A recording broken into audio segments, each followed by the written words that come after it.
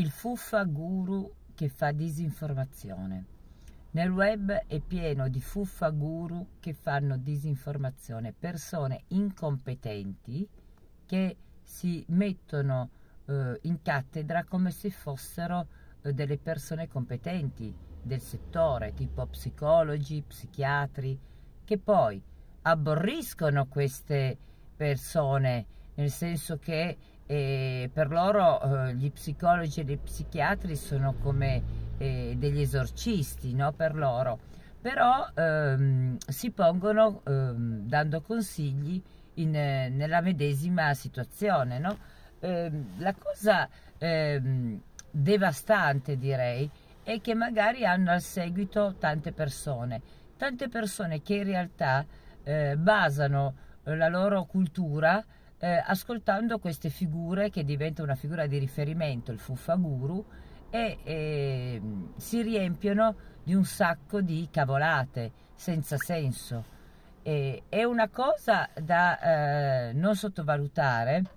e, e quindi non sottovalutate le persone che fanno disinformazione perché sono quelle che parlano di cose che non sanno, eh, che parlano di narcisismo, di malattie mentali e hanno tantissime stigma, hanno un, um, una, una, mentalità gretta e meschina, eh, da troglodita, eh, sono omofobi, misogini e mm, parlano appunto di, di orientamento di genere, eh, di mascolinità, di femminilità che è solo tossica, quindi sono persone tossiche che parlano di ehm, mascolinità tossica eh, sono proprio l'emblema del patriarcato ignorante e stereotipato che hanno comunque eh, la facoltà tramite il web di fare disinformazione. Allora io consiglio a tutte le persone di non seguire questi individui, ma soprattutto di segnalarli,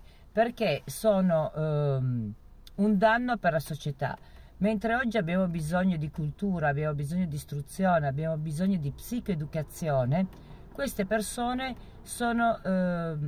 le persone eh, più marce che possiamo trovare nel web. Quindi se vi interessa un argomento, eh, vi consiglio di seguire una persona competente, una persona che abbia un titolo accademico, che abbia comunque eh, un titolo accademico che gli consente di dire delle cose intanto medico-scientifiche e non buttate campate in aria, dettate eh, dalle loro emozioni,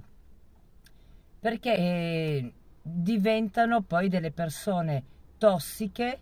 che eh, distribuiscono eh, tossicità anche agli altri, no? Eh, senza una reale,